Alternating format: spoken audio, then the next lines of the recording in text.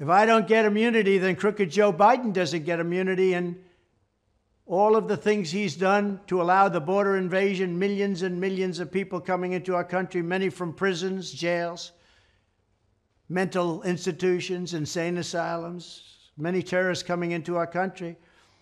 That's really allowing insurrection.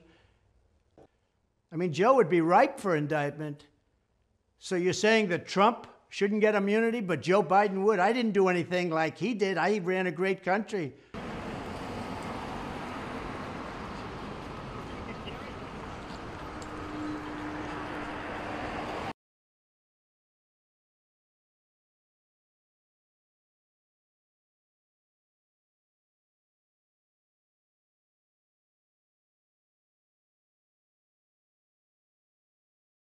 Today, an indictment was unsealed charging Donald J. Trump with conspiring to defraud the United States, conspiring to disenfranchise voters, and conspiring and attempting to obstruct an official proceeding. The attack on our nation's Capitol on January 6, 2021, was an unprecedented assault on the seat of American democracy. As described in the indictment, it was fueled by lies. Lies by the defendant targeted at obstructing a bedrock function of the U.S. government, the nation's process of collecting, counting, and certifying the results of the presidential election.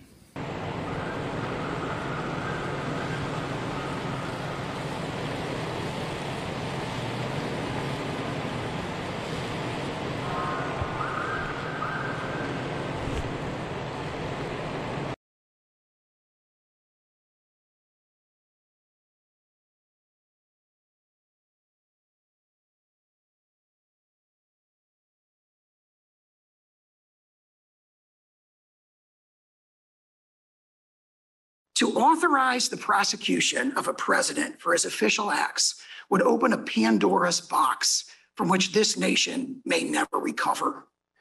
Could George W. Bush be prosecuted for obstruction of an official proceeding for allegedly giving false information to Congress to induce the nation to go to war in Iraq under false pretenses? Could President Obama be potentially charged with uh, murder for allegedly authorizing drone strikes targeting U.S. citizens located abroad? I understand your position to be that a president is immune from criminal prosecution for any official act that he takes as president, even if that action is taken for an unlawful or unconstitutional purpose. Is that correct? With an, ex- with an important exception, which is that if the president is impeached and convicted by the United States Senate in a, you know, proceeding that reflects, you know, widespread political consensus, that would authorize the prosecution under the plain language of the impeachment judgment clause. So yes, with that exception. I asked you a yes, no, yes or no question.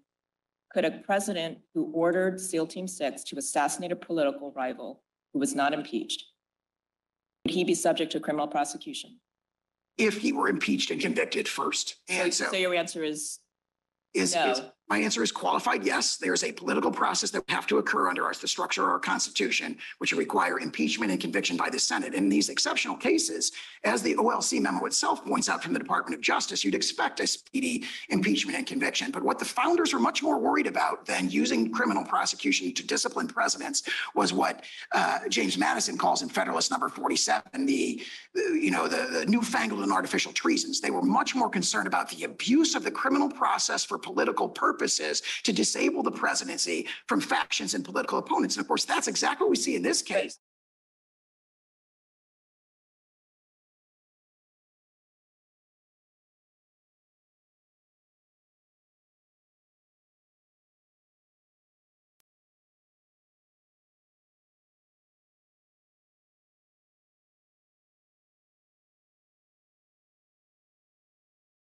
And I think they feel this is the way they're going to try and win. And that's not the way it goes. That'll be bedlam in the country. It's a very bad thing. It's a very bad precedent. As we said, it's the opening of a Pandora's box, and that's a very, that's a very sad thing that's happened with this whole situation. Uh, when they talk about uh, threat to democracy, that's your real threat to democracy. And I feel that as a president, you have to have immunity. Very simple. A president has to have immunity. And the other thing is, I did nothing wrong. We did nothing wrong.